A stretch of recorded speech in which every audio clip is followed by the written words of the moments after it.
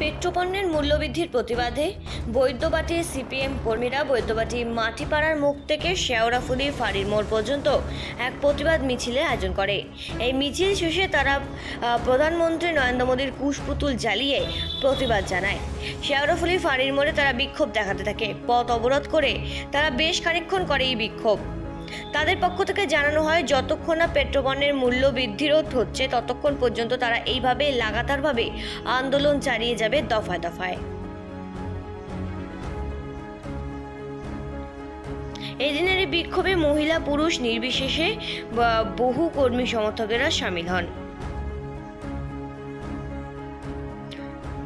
CPM Baidyabati Sheoraphuli area কমিটির উদ্যোগে এদিন এক পেট্রোপণ্যের মূল্যবৃদ্ধির প্রতিবাদে প্রতিবাদের আয়োজন করা হয়। এর প্রতিবাদ মিছিলে বহু কর্মী সমর্থকেরা সামিল হন।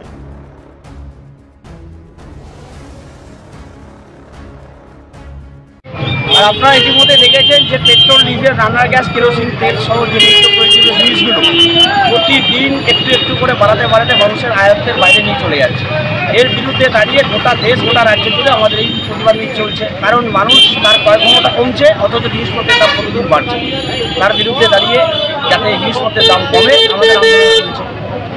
মানুষ এক হোক দিদি মোদীর বিরুদ্ধে সমস্ত মানুষ এক হোক এই ধান্দাবাসের বিরুদ্ধে সমস্ত মানুষ এক হোক আমাদের দাবিতে সিবিআইএম লড়ছে এই অস্বাভাবিক মূল্য আমি রান্না করি, মানুষের স্বার্থে পেট্রোল ডিজেল রান্না গ্যাসের দাম কমানোর দাবিতে তো মানুষ এক হোক ইনশাল্লাহ জিন্দাবাদ।